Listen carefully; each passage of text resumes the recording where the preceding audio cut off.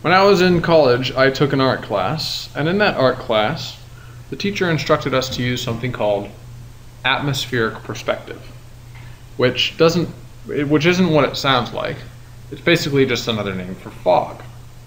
And the logic was that in real life, when you look at something really far, the air between you and that really far thing discolors the thing that you're looking at because there's so much air. So if you're looking at a distant mountain, for example, so you should color that distant mountain slightly grayer in order to make it feel like it's much farther in the distance. And so that's what we're going to try to do today. We're going to try and model atmospheric perspective or fog. So let's think about how it physically works. This is the eye, and this is some scene. When the light strikes the scene, it will bounce off and some of it will refract towards your eye. Some of it will go in other directions, but then part of it will go towards your eye. And this is what we've been looking at so, so far. The diffuse and specular terms are the part of the light that bounces towards your eye. But what we haven't accounted for is sometimes there are little particles of dust that sit between your eye and the mountain. Little particles of air. And at times, the, the particles of air will refract the light that was going to go to your eye away from your eye, and you don't see it, and it does not contribute to the image. And at other times, light that was going to be headed somewhere else, boink, hits a particle of light, a particle of air, and that light gets refracted towards your eye. It gets refracted in many other ways, but some of it will get refracted towards your eye. And thus, the interference of the air between your eye and the thing that you're looking at causes that discoloration that we know as fog.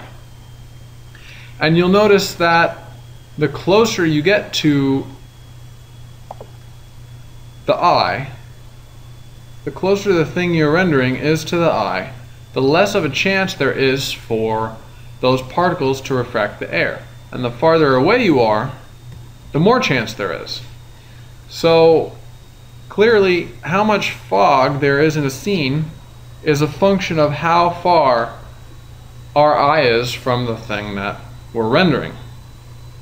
So let's see if we can get some kind of equation which can represent how much fog we should color a certain pixel. Because we're going to do all of this with, you guessed it, shaders. Shaders are what we've been learning.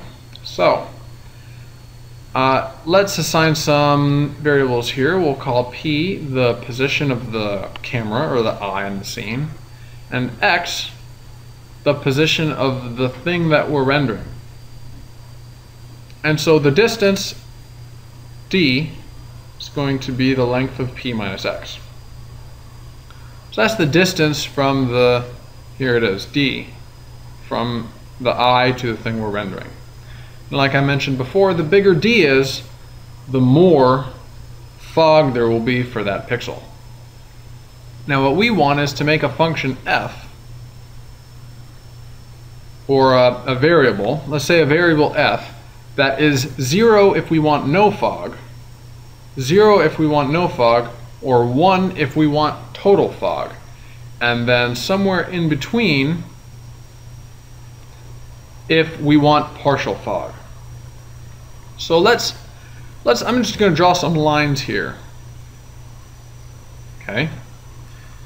And if the thing we're drawing is to the left of this line, if it's too close to the camera, then we're not going to give it any fog. And if it's too far from the camera, if it's to the right of this line, then we're going to give it complete fog. We're not going to render the original thing anymore. It's just so far away that it's completely in fog. I'm going to call these dmin and dmax. dmax. So if d is less than dmin, if, then our fog is going to be zero. And if d is greater than d max, then our fog value is going to be 1. But if, if d is between d min and d max, I'm running out of space, then we're going to have partial fog. And how, we, how do we determine what that partial fog should be, well, we're going to use something we've discussed before, which is the remap function, which will give us a linear interpolation of whatever color that is here that we need. Hmm. Now I'll show you in just a moment how we're going to implement all this in code. But first, let's take this f value, and we have one more thing that we have to do with it. We have a output color that we want to generate based on f and two inputs. We have the color of the pixel we were going to render and the color of the fog. And we have to weight these with f so that so that we get an output that we want. And here's how we're going to do it. It's a pretty basic linear interpolation just like we've seen so far. We're going to color the original pixel by 1 minus f. And we're going to color the fog, we're going to multiply it by f.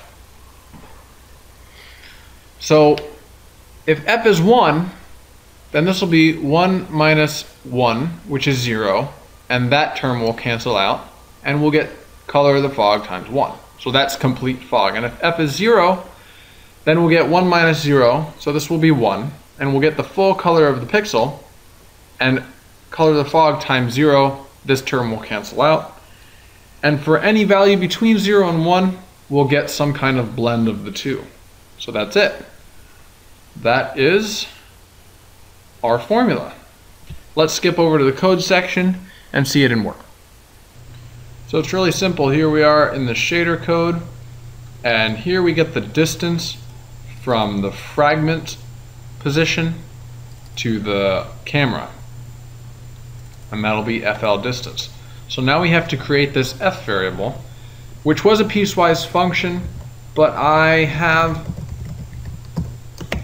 this remap val clamped function which will handle that for us. In other words, if the distance is less than fogmin, it will automatically just return us uh, 0, and if it's greater than fogmin, it will automatically return us 1. So let's put that stuff in there. The order of these parameters is the same as, it's, as it was when we did the original remap uh, function.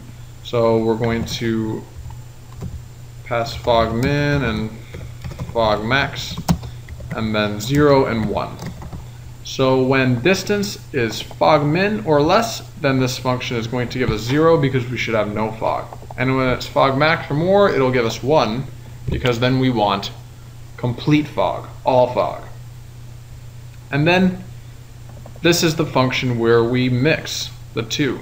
We multiply diffuse times 1 minus the fog, and the fog color times. So if fog is 0.5, we'll get an even mix of the diffuse color and the fog. And I chose a fog color that is a little bit like our sky color because it's a good idea to choose a fog because the sky is basically a completely fogged uh, color. When you look up into the sky during the day, all you're seeing is the light bouncing off the air before it gets up into space. So I chose a fog color that is basically a little bit like the sky color, but just a little bit grayer. So let's see how that looks. And you see as I get away from stuff that it turns into a sort of bluish gray. Good.